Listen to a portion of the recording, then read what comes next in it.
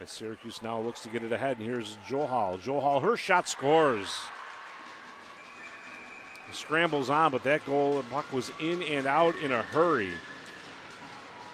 And the grad student, formerly of Holy Cross, gets her fourth of the season, and it's 1 0 Syracuse. There's a, just a, a, very nice wrister into the upper right corner of the net. Sarah Coe uh, went down a bit early on that one. Tervanen taken away. Right in on goal in the score. That one may have caromed off a skate on the way through. We'll see who gets credited for that goal, but Joe Hall was right there again. Pretty sure it's going to be Joe Hall as uh, she deflected in the, the pass to her coming right down the shot.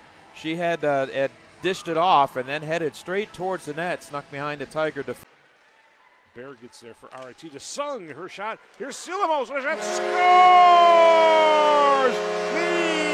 Mia Silamos! We're going to give an assist to Scott Bigger on that one. Her first career goal gets the Tigers on the board. They're trailing it three to one. And that was just a great wrist shot. She got it on the weak side, just outside the left hash mark. Was able to settle it down and tuck it underneath the crossbar.